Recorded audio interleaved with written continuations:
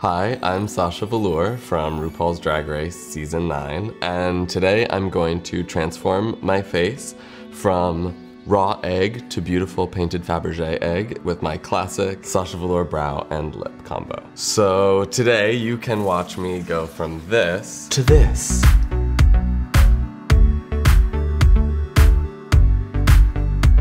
So the first thing that I always start with is moisturizing and priming my face. I just think it helps the uh, helps the makeup last longer and helps preserve my skin a little bit. But the reality is I am in drag for sometimes like 12 to 15 hours, which probably isn't that good for your skin. And then I just immediately start slathering on my paint stick. Sometimes matching colors is really hard to your skin. There are there's not like unlimited color options out there, so you do often have to combine different colors to get the right mixture or just sometimes the club lighting isn't that good. Sometimes you can just settle with an imperfect skin color for drag. Even freshly shaved, there's like a light blue undertone. And I have color corrected my head with like an orange makeup, but most of the time I find it's not necessary if I just go in with this. So I paint a grid on my head and then I fill it in. Then I will take a beauty blender that is slightly soaked in water and blend all of that in. So much of makeup, especially drag makeup, is, it's not, your face is not just a flat surface unless you're very, very lucky. I have a really heavy brow bone and doing eyeliner that properly matches those spaces is really tricky. And I had to just try a lot of different things on my face. I'm probably using the Beauty Blender wrong. I think you're supposed to tap it, but who has time to tap all over their face? I just smear it. Actually, while we were filming, while we were filming the show, Trinity encouraged us to all get faster at painting. And she said, like, you're not gonna like to hear this, but you should time yourself to go as fast as you possibly can. Make it a game, make it a competition.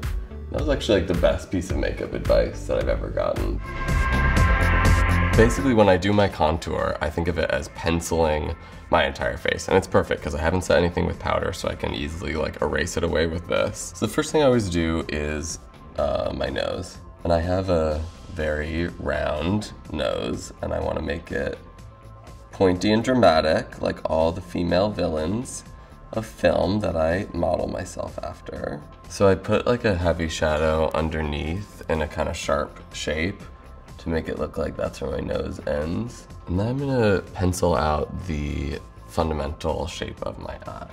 I have to do like a thick enough black that the line doesn't get lost in this part of my bone.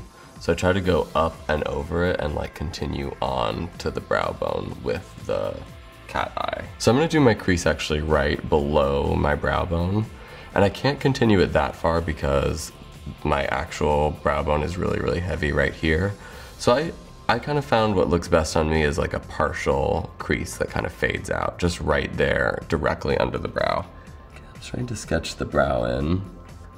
I like a really, really arched brow. There's nothing as pleasurable as painting on a drag face when you have a completely smooth head. It's like, the makeup just feels like butter compared to when you're covering like textured brow hairs. So I also have pretty intense natural bones right here and I found if I try to do one of those really swooping big cheeks, it doesn't work because you can still see my actual cheekbone here and then the hollow underneath. My face is kind of currently like, and I try to make it more like, if that makes any sense. Okay, so then I just carve out the, like a nice dome to the forehead and then fill in. And I do, I try to follow the, the line of my cat eye back into the forehead. So I bring that contour all the way up. I kind of like, I know it's weird, but I kind of like having a line going through the middle of my head. It just is pleasing to me. It's like painting an Easter egg. A lot of queens carve out this part of their chin and jaw, and I just, I don't. I, when I see pictures of myself I used to do it, and then I would see pictures of myself performing, and when I lip sync, I'm like, and I could always see like a, because your skin shifts when you perform, when you like open your mouth, I would see this like really intense line, like almost like I painted on brown there. It just wasn't working. Just start tapping and blending everything. I think it's good that it has a little makeup on it because it just helps soften everything. And I start but with the edges first while it's kind of clean. And then once the sponge gets dirtier, I'll move in to fill in the, the big spaces. And now I'm gonna go in and do my highlight. And I start my highlight with just clown white because I am that pale. Tip of the nose that everyone loves to highlight. You basically like you paint the light onto yourself. So you paint the shadows in first and then you paint where you want to be extra, extra bright. And yeah, I paint highlight all the way onto the edges of my nose because I do want to cancel out the little bit of shadow that lives right there and the shadow from my kind of circular nose that goes onto this spot. And then I'm just gonna paint along this new giant cheekbone that I make for myself. And then I'll take this down onto the upper lip. Then I go in and do the brow shape. Okay, so I think I see enough to set this in powder and to start going in with black and heavier colors.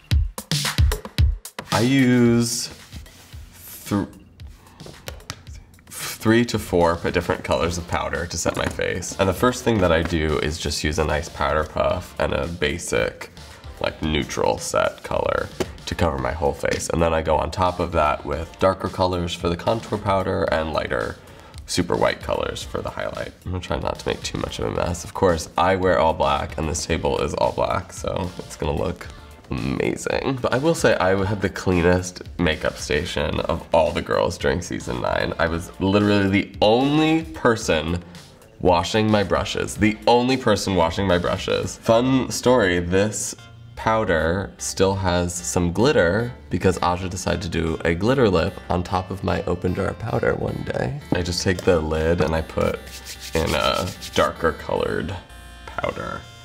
For me, that's an olive color. That would not be a contour color on everyone. And then I, some, I mix in a little like banana colored powder because I like to transition from the really dark brown like upwards a little bit into the super white. So then I just take like a really thin edge of my puff and I go in to tap out the contour shape. I just shade kind of from the brow up and over and then kind of it goes back and then from here kind of coming up. Basically to make my cheekbone, instead of my cheekbone going from the top of my ear down there, I want my cheekbone to be like, and then I'm even gonna go in and, and shade in here. Uh, just cause not everyone needs this, but for me, I really have to wrestle with the light hitting my actual brow bone, and so I can use as much kind of contour as I can. And I'm gonna go in with the slightly lighter color and just fade out the edges of this contour. And sometimes I will take this and I will do a little bit down here, just with this more banana-y color, so it's not, I think sometimes with the white jaw, it looks too strong, or, uh, or sometimes you can even see a little bit of undertone. So I take this super white highlighting clown white powder and just trace along those highlight areas. So I am going to blend this all in with a fluffy brush and then I will get to eyeliner.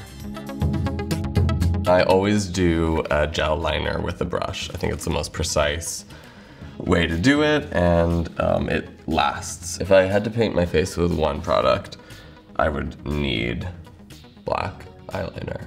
I'm pretty much just following the contour that I sketched out earlier, and I do think, you know, I like to test it raising my brow and also like lowering it, but it's at a pretty safe place where, um, because it surpasses the natural crease that I have, it's not gonna smear when I blink. And I like to make the edges really, really clean. The tip for clean edges is um, a clean brush. it's like one stage where the talking always stops. And for me, it's always when I do my eyeliner because it's it's like the most delicate and temperamental part of the face. that was the end of that sentence. There are a lot of different ways to do the inside of your eye. I love the little like bird point sharp kind of owl eye.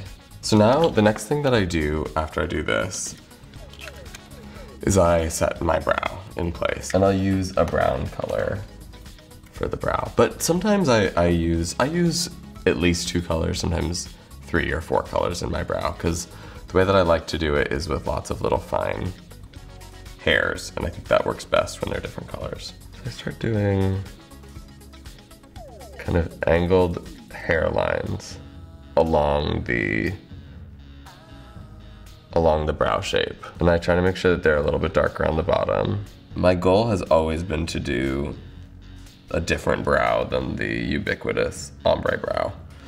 Uh, which I never really liked the look of too much anyways, and then especially because it was like, there was a moment where it was like, if you're not doing an ombre brow, you're not doing drag. I'm gonna go in with a lighter color of brown first, and then I'm gonna go in with a little bit of black to make it super dark. I'm gonna use this especially at the top of the brow, because I do think it, it looks best when it fades to darker on the, on the bottom, because that's really where the line needs to be defined. This kind of lighter color I'm also gonna put into my crease. And then for me, I found I couldn't really resolve the end of the of the crease very easily. Some people like to bring it kind of up like this.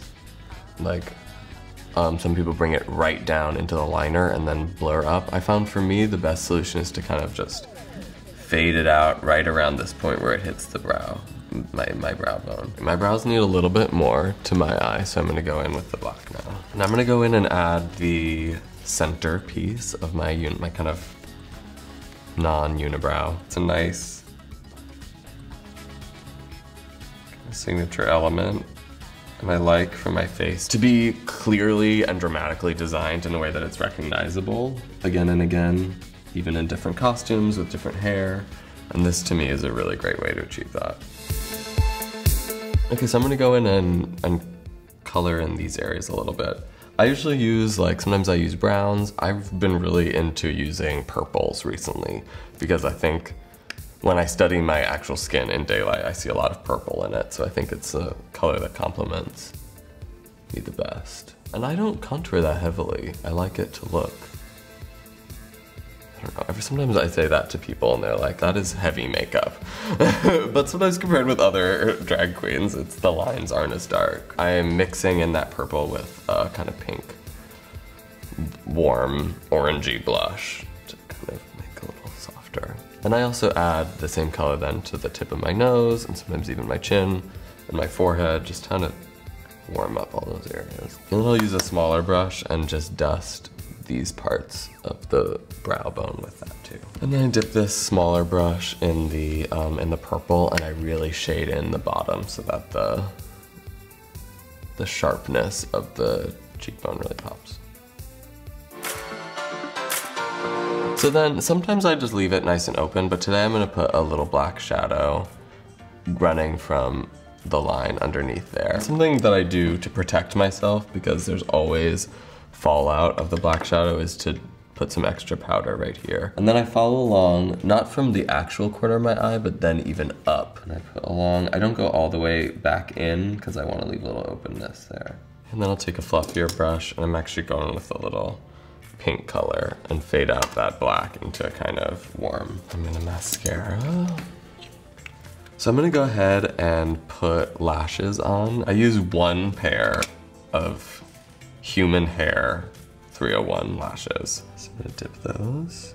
I start with the inner bit and I put that on as close as I can to the to the line and then I curve this bit up so that it lives way afar, way above my actual lash because I do want it to curve up with my new eyeliner. Maybe they could go higher, but if I put it too much higher, it feels really crazy and uncomfortable and it's hard to blink. I'm gonna do a little bottom lash because I did the dark shadow underneath, so I think that'll look nice. And I do them basically right at the actual lash. Okay, and now that I have this somewhat set, I'm gonna go on to my lips. For my lips, I use four products, two different liners, a gloss, and then glitter. And then I start painting on this little mustache, little John Waters mustache in red to make the upper part of my lip. I like a nice, uh, a nice bow to the lip and then I like to come down either right where my lips end or a little bit further on the top, which can make them look kind of plump. There's a happy place that I think everyone has of just the right amount of overlining where it looks it, it's kind of like the, the bright part catches what could be a highlight on a larger lip, even though it's actually the edge of your real lip. Um, and if you go too much farther than that, then you end up you don't see any curve. Also, I'm like, I'm running out of space in between my lips and my nose. Okay, so now I'm gonna just fill it in all with this kind of bricky red color. Even though I save the lips for the last, I feel like once I have lips on is the moment that I start to see Sasha Velour. I'm gonna go and darken all the edges with a nice purple color.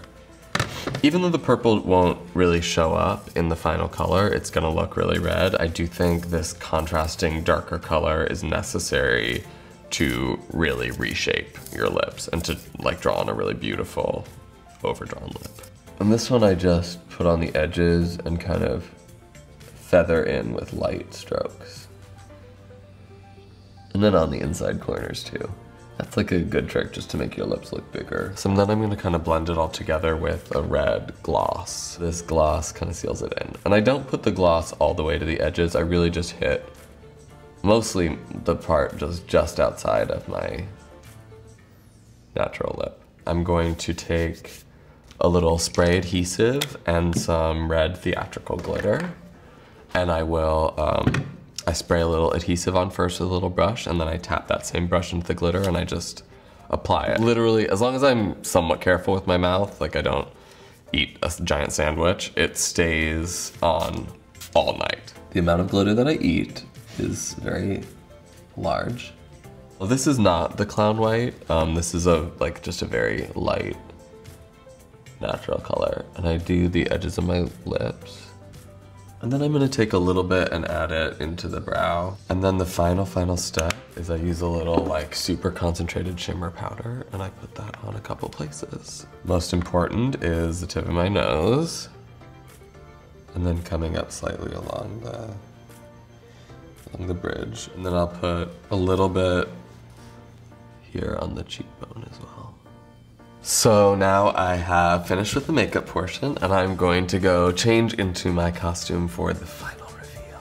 And the beauty, monster, evil queen look is complete. Be sure to check me out on Instagram at Sasha Velour and also check out my self-published drag magazine, Velour, the drag magazine, at the drag magazine, which charts the artistic creations of drag queens and kings around the country and the world.